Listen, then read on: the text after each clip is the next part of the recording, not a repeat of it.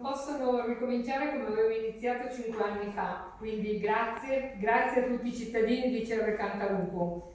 E direi che questa volta è proprio la loro vittoria, la vittoria dei cittadini. Un grazie che vale ancora di più questa volta perché se la prima volta sono stata votata dai cittadini sulla fiducia che potessi fare meglio delle passate amministrazioni, ora un grazie perché con il loro voto i cittadini hanno voluto riconoscere la validità del lavoro svolto dalla nostra squadra. Un lavoro svolto ogni giorno, con passione per il bene comune. Sono sempre stata e continuerò ad essere il sindaco di tutti.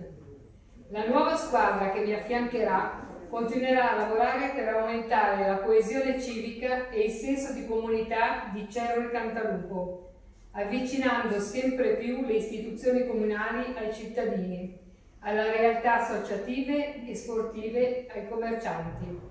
Infine, ma non per importanza, assicuro e rassicuro che a Cerro Maggiore non arriverà mai alcun veleno da quando ci sarò io questa in questa amministrazione la discarica sarà chiusa per sempre e senza alcun rischio per la salute e l'ambiente.